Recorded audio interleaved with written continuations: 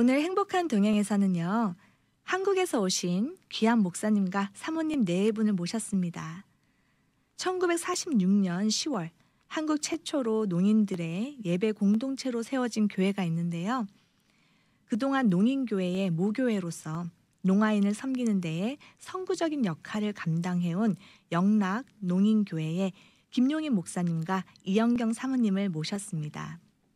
우리 김용희 목사님은요 수어를 사용하시는 농인이시기 때문에 오늘 아내 되시는 이영경 사모님께서 수어와 음성으로 통역해 주시겠습니다. 그러면 바로 인사 나눠보겠습니다. 안녕하세요. 안녕하세요. 만나서 반갑습니다. 만나서 반갑습니다. 네, 듣고 계시는 저희 청취자분들께 인사와 소개 부탁드리겠습니다. 안녕하세요. 저는 영락 농인교회를 맡고 있는 김용익 목사입니다. 어, 저도 청각 장애인이고 저희 성도들도 다 청각 장애인들입니다. 네, 오늘 이렇게 함께 하게 돼서 기쁩니다. 우리 사모님도 소개해 주세요. 아, 저는 네, 저희 목사님과 같이 살고 있는 이영경입니다. 네, 오늘 이렇게 두 분과 함께 하게 되었는데요. 저희 방송이 이렇게 생방송일 때는 유튜브로 보이는 라디오 함께 진행되고 있는데요. 평상시에는 이거에 대해서 제가 기뻐함이 별로 그렇게 크지 않았는데 아 오늘 같이 보이는 라디오가 이렇게 기쁘게 다가온 적이 없었던 것 같습니다. 네, 너무 좋습니다. 지금 성도분들도 이렇게 보실 수가 있겠네요 화면으로. 그렇죠. 우리 농아 성도들도 볼 수 있겠죠. 예, 네, 볼수 있겠네요. 네, 아 우리 목사님 참 인자하세요. 표정이 너무 좋으시고요. 네. 네. 영락 농화교회라고 제가 설명을 드렸는데요. 또 들으시는 분들이 궁금해 하실 것 같아요. 영락 농화교회가 어떤 교회인지 네, 설명해 주시면 좋을 것 같습니다. 아, 말 그대로 농인들 듣지 못하고 말하지 못하는 농아인들이 어, 수화라는 언어로 설교하고 수화로 찬양하고 수화로 기도하고 수화로 소통하는 농인들이 다니고 있는 믿음의 공동체입니다. 네. 소개해 주셔서 감사합니다. 어, 한국에 그런 교회가 많은가요? 네, 많이 있지만 어, 대도시마다 한 곳 정도 예, 이렇게 청인교회처럼 많지는 않고요. 또 많이 줄고 있는 상황입니다. 네. 네. 지금 청인이라는 표현을 써 주셨는데요. 아, 청인이란 표현은 우리가 지금 얘기하고 있는 농인의 반대 개념이라고 생각하면 될까요? 그렇죠. 농인은 이제 듣지 못하고 말하지 못하는 사람들이고 청인은 청력만 건, 건강한 사람들. 음, 그래서 청인, 예, 네, 건청인 또는 청인이라고 말을 합니다. 네. 네. 아무래도 또 오늘 듣는 이 단어들이 생소하신 분들이 있으실 것 같아서 제가 설명을 부탁드렸습니다. 네. 네. 교회 모든 성도가 지금 농아인으로 되어 있다고 말씀을 해주셨어요. 네. 네. 또 개 중에는 농맹인도 계시다고 들었습니다. 어, 농아인으로 살다가 그래서 어, 보이는 언어인 수화를 사용하다가 눈까지 보이지 않아서 농맹인이 된 사람들, 시청각 장애인들, 그 농맹인들도 저희 교회에 다니고 있습니다. 네. 네. 그러면 사역하시는 분들은 또 어떤 분들이 함께 하시는지 궁금한데요. 네. 주로 다 농인들이 중심이 되고, 어, 엄마 아빠가 농인인데 그 자녀들은 청인인 자녀들, 코다라고 부르거든요. 그 코다 아이들도 다니고 있고요.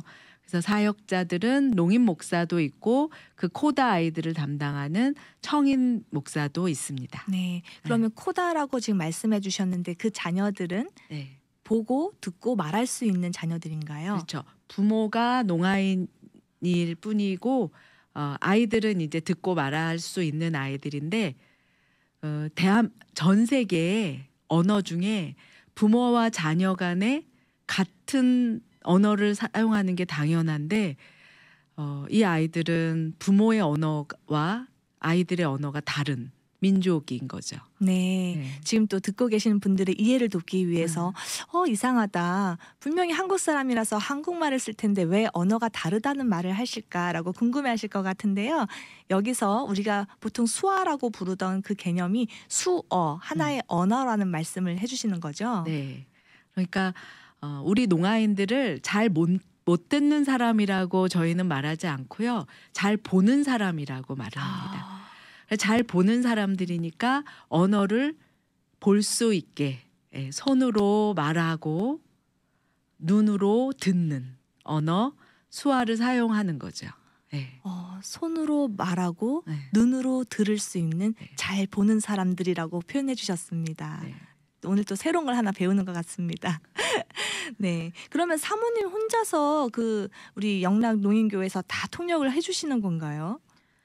어, 뭐, 이 세계가 달라요. 어, 우리가, 아, 아, 그러니까 이렇게 생각하면 돼요. 농아인들을 제가 어, 그냥 병리학적으로, 의학적으로 장애인, 청각 장애인이라고 부르지 않고요. 저희들은 대한민국에 살고 있는 소수 민족, 아, 수화라는 언어를 사용하고 들리지 않는 세계 속에 살고 있는 소수 민족이라고 불러요. 어, 왜 민족적인 문화적인 개념으로 제가 정의를 하냐면 음, 예를 들어서 우리 농아인 교회가 지금 한 200명 넘는 농아인들이 다니고 있는데 거기에 수화를 못하는 청인이 한 명 오시면 그분이 장애인이 되는 세계예요. 네, 상상이 네, 네. 되세요? 네, 네, 이해가 됩니다. 네, 이해가 네. 되시죠? 어, 우리 농아인들이 대다수 사용하는 언어, 음성 언어를 사용하는 어, 그게 대다수기 때문에 그 안에 소수 이제 수화라는 언어를 사용하는 사람으로 살기 때문에 소수 민족이고 의사소통에 불편이 있는 것뿐이죠. 대한민국 모든 국민들이 수화를 안다면 아, 어, 더 이상 소수민족이 그렇죠. 아니죠. 더 이상 소수 민족이 아니고 농아인들이 슈퍼마켓에 가고 의사 선생님을 만나러 갔는데 의사 선생님이 수화로 또 슈퍼마켓 아저씨 아줌마가 수화로 모든 사람이 수화를 해주면 소통의 장애인 청각 장애는 어, 어, 농아인은 음. 없어지는 거 아닌가? 이런 큰 꿈을 생각하고 있습니다. 네, 아멘입니다. 네. 지금 또 들으시는 분들이 좀 혼란하실 혼란스러워 하실 수도 있어서 제가 하나 더 정리를 하고 넘어가자면 지금 손으로 말하는 언어를 수어라고 하고요. 이 수어로 대화하는 것을 수화라고 하는 게 맞죠, 사모님? 네, 맞습니다. 네, 그래서 수어를 사용해서 하는 대화를 수화라고 하는데 보통 우리가 수화라고도 하고 수어라고 예, 혼용해서 쓰기도 합니다. 음. 어, 여쭤볼 게 또 있는데요. 2016년부터 본격적으로 어, 전국에 그러니까 한국이죠. 한국에 전국의 농맹인들을 찾아서 사역을 시작하셨다고 들었습니다. 그 말씀도 좀 해주세요. 음, 이제 저희 목사님하고 어, 2015년에 영락 농교회에 부임을 했습니다. 아, 그리고 나서 2016년에 농맹인들을 만나게 되었는데 그 전까지 농맹인을 만난 적이 없었어요. 아, 그러니까 농맹인이라는 존재가 없었던 게 아니고 저희들 눈에 보이지 않았던 거죠. 왜 보이지 않았냐면 그들은 농아인으로 살다가 눈이 보이지 않게 되면서 집안에 거의 그냥 스스로 갇혀서 누가 데리고 나가주지 않으면 밖에 나갈 수도 없고 어, 세상 밖으로 나가서 소통할 수 없이 그냥 집안에만 있었기 때문에 저희 눈에 안 보였던 것 같아요. 그러다가 2016년에 우연히 이제 농맹인을 만났고 어 이들은 어떡하지? 어, 농아인들에게는 수화로 복음을 전할 수 있었지만 더 이상 그 수화를 볼 수 없게 된 농맹인들은 어떻게 복음을 전하지? 그거에 대한 고민을 시작을 했고요. 정작 어, 건강한 수많은 교회들은 그들에게 관심을 가져주지 않았는데 농아인인 예, 목사가 뭐 우리 교회에 품지, 아, 예, 우리 교회에 담지. 하나님이 이들 영혼을 구원하시기 원하신다면 우리 교회에 담으면 돼라고 결정을 내줬어요. 어, 저는 저희 목사님을 정말 존경하는데 예, 하나님의 마음을 가지고 있는 아, 목사님이신데 그렇게 시작됐어요. 목사님이 우리 교회에 담지 한 달에 한 번씩 농맹인들을 찾아서 그들 한 사람 한 사람들을 데리고 와서 한 달에 한 번 예배를 시작했고요. 그게 한국에서는 최초라는 거예요. 아, 왜그 전에는 왜 못했을까? 그러게요. 그러게요. 있을 법도 한데요. 그래서 제 마음에는 하나님이 김요희 목사를 기다리고 있었구나. 이 목사를 기다리고 있었구나. 그래서 담기 시작해서 이제 6년 7년이 계속 돼서 한 달에 한 번 예배는 전국에 있는 농맹인들이 와서 예배를 드리고 있고 처음에 시작할 때는 농맹인이 4명이었고 농맹인이 한 사람 부산에서 오려면 007 작전이 필요해요. 아, 부산에서 그 집에서 기차역까지 데려다 줄 사람, 기차역에서 서울역까지 데리고 올 사람, 서울역에 데리고 나 어, 데리러 나가서 교회까지 또 데려올 사람, 아, 수많은 도움자들이 필요하기 때문에 이게 쉬운 일이 아니거든요. 시간도 맞춰줘야 되고 어, 그런 과정을 거쳐서 어, 6년 동안 한 모인 결과 지금은 전국에서 농맹인들이 한 20명이 넘게 아. 오고 있고 그들을 돕는 활동 지원인 그들을 돕기 위한 촉수와 통역사 해서 60명 넘는 인원수가 매달 모이고 있어요.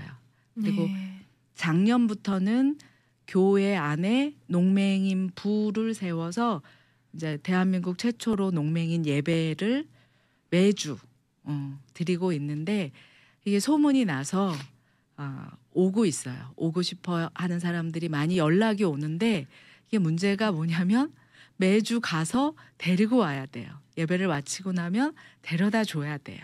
어, 그런 과정이 있어서 좀 느리지만 천천히 진행되고 있고 어, 강원도 원주에 사는 농맹인이 있는데 매주 교회를 오고 싶어해요. 서울에 있는 교회. 아, 원주에서 강원도 서울까지.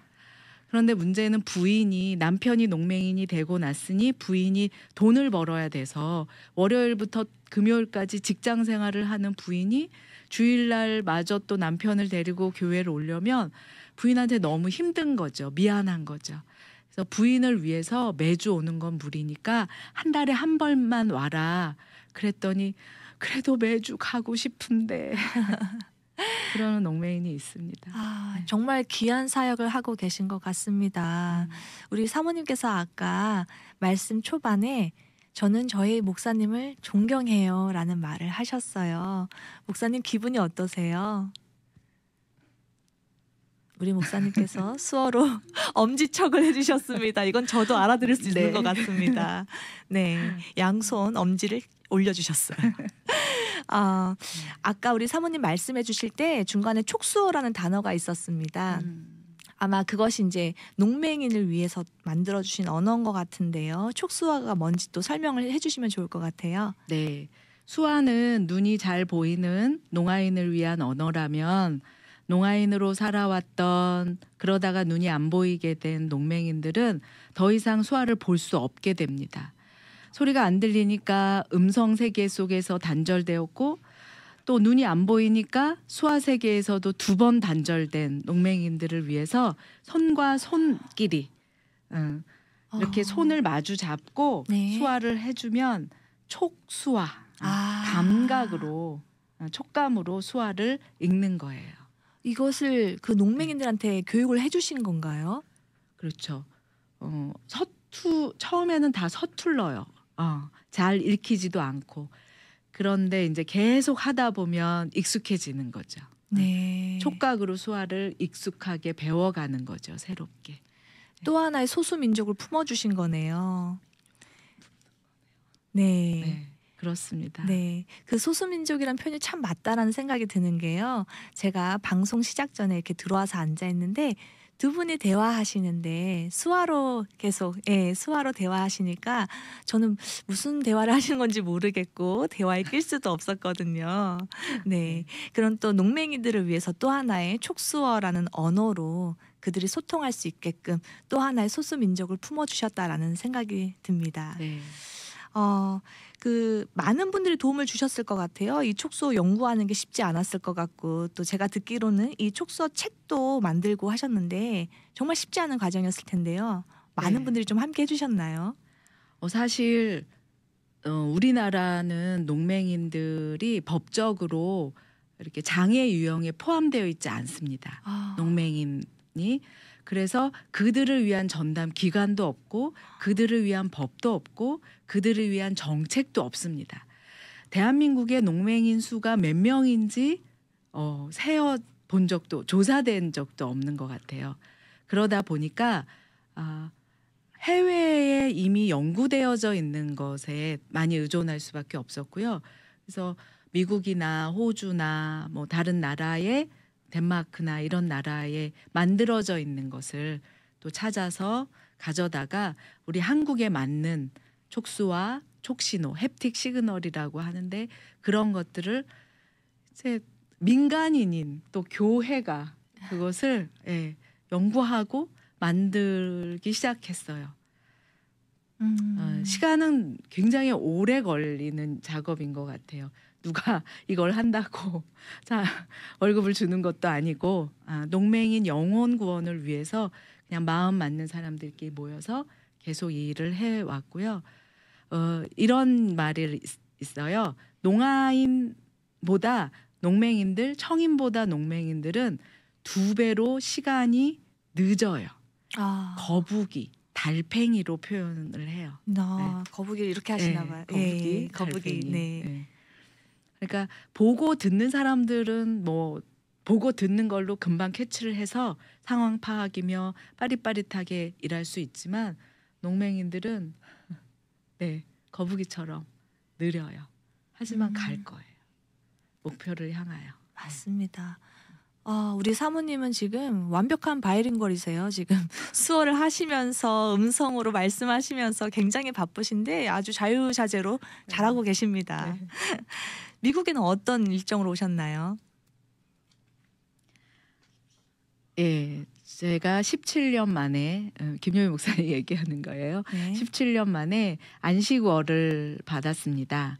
어, 그 이유는 음, 그래서 이제 미국으로 오게 된 이유는 시애틀에 농인들이 어, 농아인 교육자도 없이 예배를 드리기 시작했어요. 농아인 교육자가 없으니까 설교해 주는 사람도 당연히 없죠. 어, 그러다가 유튜브에서 저희 교회에 아, 방송을 보고 그 유튜브로 전해지는 방송을 매주 어, 예배의 가치를 드린 거죠. 그게 3년. 음, 그 농한 성도들이 어, 이제 목사님을 초대해서 수련회를 하고 싶다. 그들은 늘 매주 목사님 설교를 받고 예배에 참여했지만 목사님은 그 성도들을 처음 만나는 거였어요. 그래서 시애틀에 들려서 그들과 함께 수련회를 마치고 그리고 LA로 내려온 것입니다. 네. 아. LA는 또 어떤 일로 오셨어요? LA는, 음. LA에는 제 아내의 오빠가 어, 오렌지 카운티의 오픈도어 교회 이영찬 목사가 제 아내의 아. 오빠인데, 예, 그 가족을 만나고 예, 또 부흥회를 계획해 주셔서 예, 부흥회를 하러 왔습니다. 네, 부흥회 오픈도어 교회에서 부흥회를 하신다고 했는데요. 부흥회 일정도 좀 알려주세요. 이번 주 6월 16일 금요일 저녁 그리고 어, 6월 17일 새벽과 또 저녁 그리고 주일 아침 예배 어, 사회에 걸쳐서 오픈도어 교회 역사상 처음으로 하는 부흥회라고 합니다. 네, 그러면 네. 또 우리 목사님께서 말씀 전해주시고 우리 네. 사모님께서 옆에서 또 음성으로 통역을 해주시는 네, 거겠네요. 그렇습니다. 네. 네. 어, 부흥회 또 놓고 기도 많이 하실 것 같은데요. 어떤 부분 놓고 기도하고 계세요?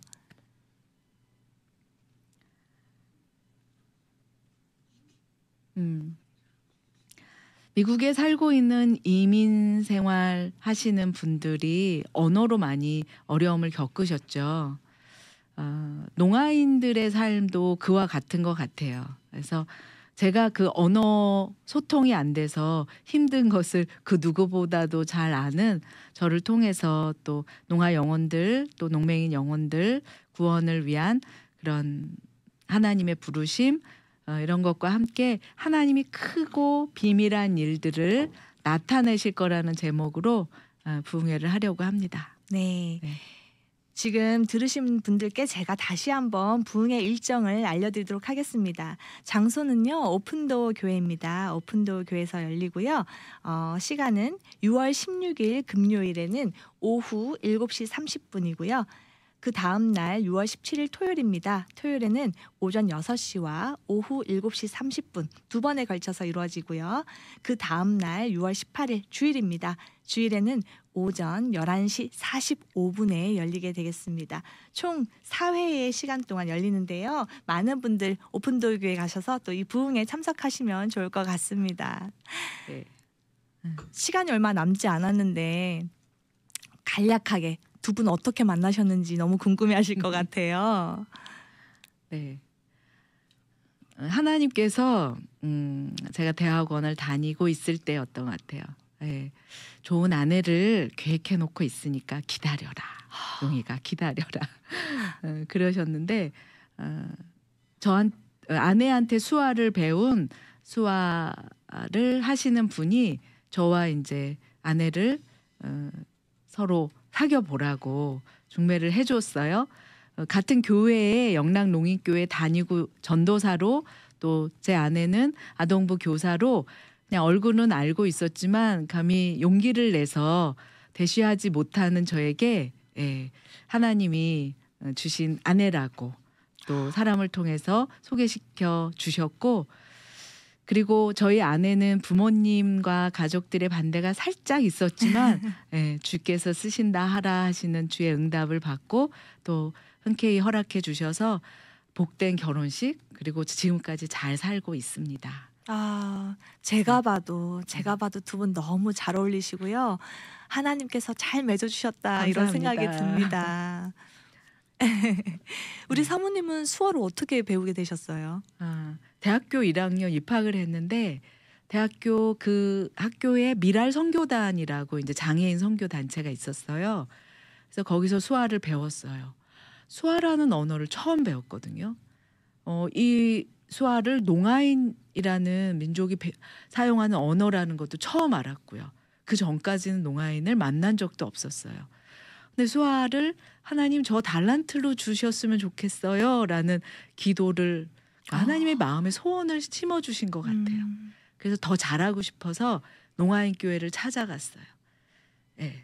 찾아갔다가 더 잘하게 되었고 저희 아버지가 딴 짓은 하지 마라 했는데 그렇게 딴 짓을 해서 네, 농아 전도사님을 봤는데 정말 인간 승리자 이고 음. 그렇게 존경스럽더라고요. 네, 아, 그래서 만나게 됐고요. 네. 남편을 존경하라가 우리 항상 성경에서 대하는 예수님의 가르침으로 저희가 어쩔 수 없이 순종할 때가 참 많은데 그게 아니라 마음에서 음. 정말 우러나오는 존경심을 제가 오늘 본 것 같습니다. 음. 아, 정말 시간이 얼마 안 남았는데요. 마지막으로 그 앞으로의 비전과 계획도 좀 궁금한데요. 음.